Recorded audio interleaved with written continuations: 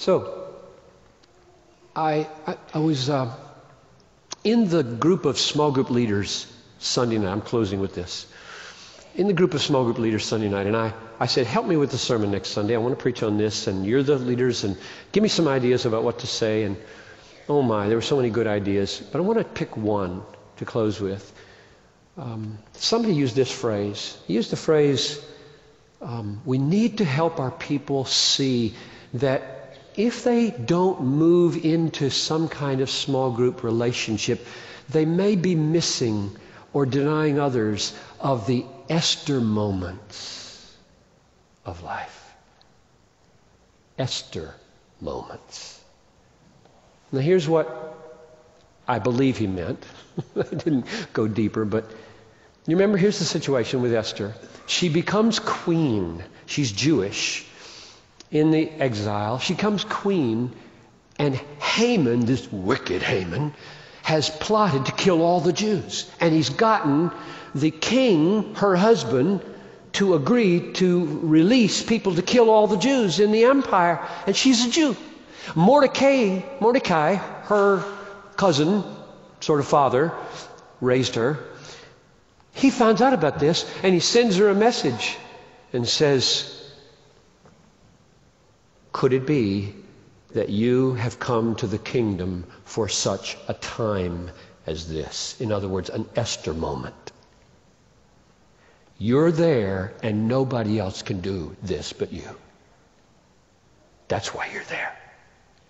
Now she knows you can't go into the presence of the king unless he lifts the golden scepter. You get killed. Even queens. You don't mess with the you don't mess with the king.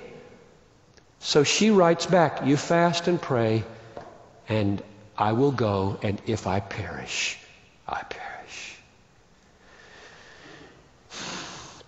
Now, here's the relationship to small groups there are Esthers and there are Mordecais, namely all of you. And God has ordained that at some moment in life, you're essential in this group.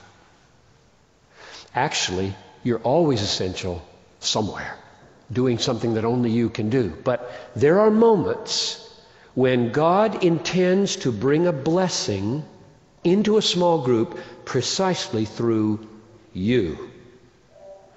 Don't, don't have the notion that spiritual gifts are lifelong skills which get supercharged by the Holy Spirit. That is true. But that's not mainly what is meant in 1 Corinthians 12. Mainly what is meant in 1 Corinthians 12 is when the church gathers together, God sovereignly gifts people to do things that need being done in the lives of others to build them up and deliver them, strengthen them.